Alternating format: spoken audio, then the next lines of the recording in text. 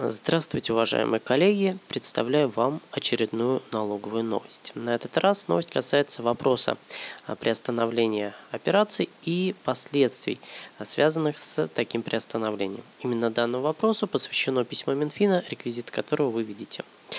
В данном письме рассматривался вопрос о том, Распространяются ли э, последствия приостановления э, операции, а такими последствиями является э, запрет на открытие новых счетов, вкладов, депозитов, на физических лиц, имеющих специальный статус, то есть статус нотариуса, адвоката, индивидуального предпринимателя.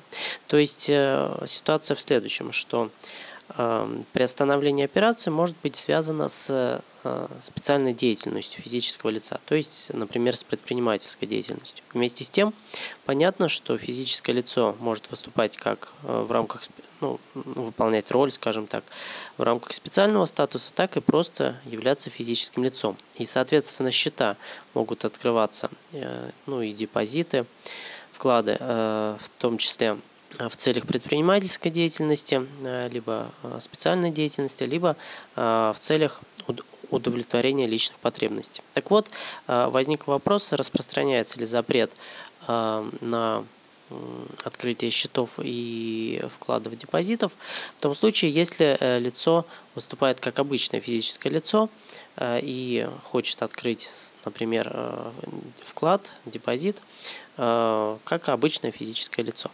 Так вот, Минфин в данном случае указывает на то, что каких-то специальных правил в данном случае нет, и поэтому э, запрет э, на открытие счетов вкладов депозитов, он э, распространяется в целом на физическое лицо, независимо от того, с какой целью лицо хочет открыть вклад и депозит. В целях, скажем, осуществления предпринимательской деятельности, либо просто в каких-то потребительских целях.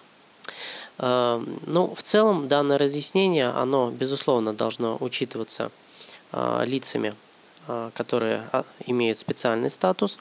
И э, здесь в целом логика Минфина понятна, потому что достаточно сложно а, отделить э, специальный статус от просто физического лица, и поэтому, что называется, запрет э, является запрет на открытие вкладов, счетов, депозитов является тотальным. Вот. Ну и кроме того, данное разъяснение, конечно же, должно учитываться и банками, поскольку а, в данном случае а, нарушение а, данного запрета, то есть открытие э, счета, даже если счет открывается как просто на физическое лицо в целях удовлетворения его личных потребностей.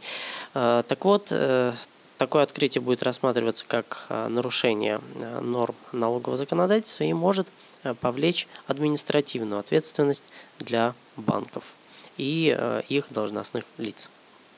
Ну а на этом все. Спасибо за внимание. До скорых встреч.